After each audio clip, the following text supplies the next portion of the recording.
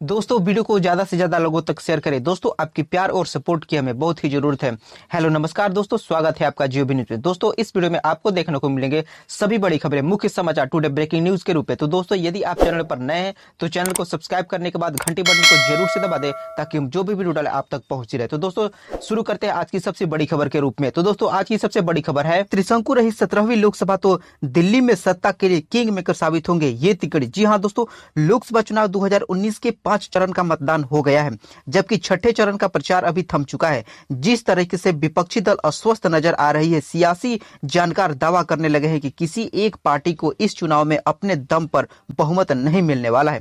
अगर ये भविष्यवाणी सच साबित होती है तो केंद्र सरकार में गठबंधन को लेकर के देश के तीन अलग अलग राज्यों की नेता किंग मेकर साबित हो सकते हैं। इस बार के लोकसभा चुनाव में ज़्यादातर राजनीतिक दलों ने अपने सियासी पत्ते खेल दिए हैं कि वह किस खेमे के साथ हैं। जो दल यूपीए और एनडीए के साथ मिलकर के चुनाव नहीं लड़ रहे हैं, उनके तेवर देखकर भी अनुमान लगाया जा सकता है कि वे चुनाव नतीजे आने और त्रिशंकु लोकसभा होने पर किस पोल में जाएँगे और किसमें नहीं। लेकिन अगर बात करें उड़ीसा के मुख्यमंत्री और बीजेडी प्रमुख नवीन पटनायक, तेलंगाना के सीएम और टीएमसी प्रमुख के और वाईएसआर कांग्रेस के अध्यक्ष जगमोहन रेड्डी की तो इन नेताओं ने अपने इरादे ज़ाहिर नहीं किए। ऐसे में इन दलों की तिगड़ी पर भी सबकी निगाहें होगी। आपको बता दें कि उड़ीसा में इक्कीस, आंध्र प्रदेश में पच्चीस और तेलंगाना में सत्रह सीटें हैं।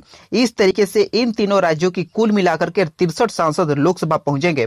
इस बार के चुनाव में उड़ीसा के बीजेडी, आंध्र प्रदेश के वाईएसआर, कांग्रेस और तेलंगाना में टीएसआर अकेले चुनाव लड़ रही है। माना जा रहा है कि इन राज्यों की ज़्यादातर सीटों पर इन्हीं तीन दलों का कब्जा रहेगा। ऐसे में नेताओं की ये तिगड़ी सत्ता की किस्मत का फैसला तय करने के लिए किंग मेकर की भूमिका ज़रूर निभाएँगे। जी हाँ दोस्तों, अगली बड़ी खबर है। अब बीजेपी ने शेयर किया राजीव गांधी का वो भाषण जो कांग्रेस को हमेशा सताता है। जी हाँ दोस्तों, वीडियो को पूरा अंत तक देखिए। दोस्तों, दिल्ली में लोकसभा चुनाव की वोटिंग की अभी दो दिन पहले बीजेपी ने कांग्रेस पर फिर से हमला किया। पार्टी के अधिकारी ट्विटर हैंडल से राजीव गांधी का वो भाषण शेयर किया गया, जिसमें वो कहते हैं, जब बड़ा पेड़ गिरता है तो धरती में भूकंप आता है। उस बयान पर हमेशा सिख दंगे मामले से जोड़ा जाता है, जिसमें करीबन तीन हज़ार सिखों को मौत के घाट उतार दिया गया था। सिख दंगा उन्नीस में तत्कालीन प्रधानमंत्री इंदिरा गांधी की हत्या के बाद भड़क गया था। इस घटना में कांग्रेस के कुछ नेताओं पर आरोप है कि वो दिल्ली में उस भीड़ की अगुवाई कर रहे थे, जो सिखों की निशानी बनी हुई थी। इसमें से सज्जन कुमार, जगदीश टाइटल कमलनाथ और एच के आर भारत शामिल थे, जिसका ज़िक्र बीजेपी की ओर से जारी वीडियो में किया गया है। आपको बता दें कि यह तीसरे मौका है जब बीजेपी ने चुनाव के बीच पूर्व प्रधानमंत्री राजीव गांधी को घसीटा है।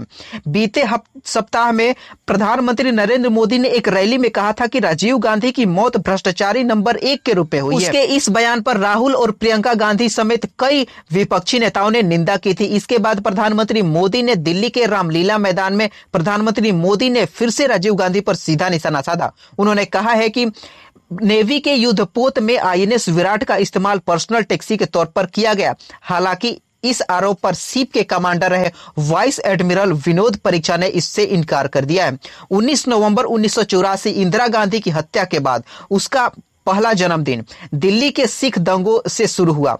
पंद्रह दिन भी नहीं बीते थे और राजीव गांधी के तमाम रस्मों रिवाज के साथ इंदिरा गांधी का जन्मदिन मनाने की घोषणा कर दी। ये वो दौर था जब इंडिया गेट के नज़दीक वोट क्लब सियासत का केंद्र बिंदु हुआ करता था और आज के रामलीला मैदान यानी जंतर मंतर की हैसियत प्राप्त हुई है।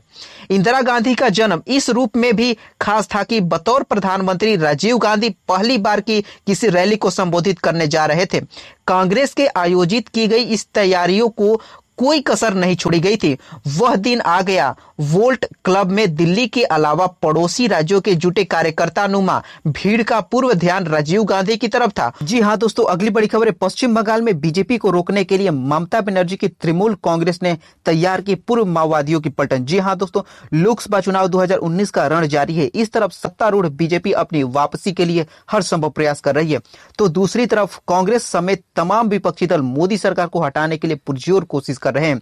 इसके बीच खबर आ रही है कि पश्चिम बंगाल में सत्तारूढ़ ममता बनर्जी की तृणमूल कांग्रेस ने भाजपा को रोकने के लिए पूर्व माओवादियों की पलटन और कट्टरपंथियों से लड़े चुनाव को लोगों के एकजुट किया है। कभी माओवादियों का गढ़ रहे जंगल महल के अंतर्गत झारग्राम, मेदिनीपुर, बांकुरा और पुलिया ज़िले आते हैं। मूल कांग्रेस ने जो पलटन तैयार की है, उसमें माओवादी समर्थित पुलिस अत्याचार विरोधी जंग समिति के अध्यक्ष हैं। जो कुछ जन जागरण मंच जैसे ग्राम प्रतिरोधक गुट के लोग भी उसमें शामिल है, जिसमें से 2010 और 12 में उग्रवादियों से लोहा लिया था। ऐसे में लोगों को एकजुट करने वाले तृणमूल कांग्रेस ने पश्चिम बंगाल के मिदनापुर ज़िले के अध्यक्ष अजीत मैत्री ने कहा है कि ऐसा बल इस समय की आवश्यक है क्योंकि भाजपा के खिलाफ लड़ाई राजनीति के साथ ही विचारधारा की भी है। मैत्री ने कहा है कि भाजपा जैसी कैडेट आधारित पार्टी को लड़ने के लिए आपको कैडेट आधारित पलटवार भी ज़रूरी है। पूर्व माओवादी पीसीएस की अध्यक्ष और जमीनी हकीकत की बेहद समझ है। साथ ही उन्होंने जनता के बीच अपनी बात पहुँचाने तथा विचारधारा से जुड़े संदेशों की काट के तरीके भी पता है। उन्होंने कहा है कि उनमें बेहतरीन संगठनात्मक कौशल है। इसीलिए हमने उन्हें एक साथ लाने की सोची। ताकि जनसंपर्क के लिए एक बिचोड़ पलटन तैयार हो सके। आपको बता दें कि तृणमूल कांग्रेस के नेता अमित मैत्री ने कहा है कि भाजपा के खिलाफ प्रचार के लिए कम से कम 200 लोगों का दल पश्चिम बंगाल के मेदनापुर और झाड़ग्राम में है। जी हाँ दोस्तों, अगली बड़ी खबर है। नवजोत सिंह सिद्धू बोले, मैंने हीरो नंबर वन और कुली नंबर वन तो देखी है, लेकिन एक नई फ़िल्म आ रही है। जी हाँ दोस्तों, कांग्रेस नेता नवजोत सिंह सिद्धू ने एक बार फिर से प्रधानमंत्री मोदी पर निशाना साधा है। पंजाब सरकार के कैबिनेट मंत्री रहे नवजोत सिंह सिद्धू ने प्रधानमंत्री मोदी पर चुनावों के दौरान विभाजनकारी राजनीति करने का आरोप लगाते हुए उन्होंने चुनौती दी है कि वह बेरोजगार, नोटबंदी और माल या सेवा कर, यानी जीएसटी जैसे मुद्दों पर चुनाव लड़कर के दिखा। नवजोत सिंह सिद्धू ने इंदौर में एक सभा को संबोधित करते हुए कहा कि मोदी में दम है तो वह रोज़गार, नोटबंदी और जीएसटी जैसे मुद्दे पर चुनाव लड़े, लेकिन वह लोगों के धर्म और जात पात के नाम पर वोट मांग करके चुनाव लड़ रहे हैं। उन्होंने आरोप लगाया है कि प्रधानमंत्री प्रधानमंत्री मोदी सरकार गंगा नदी को साफ़ करने, दो करोड़ नौकरी देने और विदेशी बैंकों में जमा कालाधन भारत लाने वाले वादे तो निभा ही नहीं रही है। जी हाँ दोस्तों, कांग्रेस नेता ने कहा है कि मोदी सरकार झूठ बोल रही है। प्रधानमंत्री मोदी और उनका पूरा कुलबा झूठा है। सिद्धू ने अपने चित परिचित अंदाज में तंज कसा उन्होंने कहा कि मैंने हीरो नंबर वन तो देखी है, कुली नंबर वन और बीबी नंबर वन जैसे फ़िल्में तो देखी है, लेकिन इन दिनों मोदी सरकार की एक नई फ़िल्म आ रही है, वो है फेकू नंबर वन। उन्होंने मोदी सरकार पर कटाक्षपूर्ण आक्रमण जारी रखते हुए कहा है कि ना रामलीला, ना रोज़गार मिला, हर गली में मोबाइल चलाता एक बेरोजगार मिला। रफाल सौदे पर प्रधानमंत्री मोदी को घेरते हुए कांग्रेस के नेता ने कहा है कि मोदी देश के लोगों से कहते हैं कि दस रुपए का पेन तक खरीदने तक दुकानदार से पक्का बिल लेना चाहिए। लेकिन जब रफाल विमान को खरीदने के बिल का पता नहीं जी हाँ दोस्तों, अगली बड़ी खबर है। पाकिस्तान के प्रधानमंत्री इमरान खान भारत से मांग रहे हैं हाथ जोड़ करके माफ़ी। जल्द हो सकता है इस पर फैसला। जी हाँ दोस्तों, कश्मीर के पुलवामा में आतंकी हमले के बाद भारत और पाकिस्तान के रिश्ते बेहद तनाव बने हुए हैं।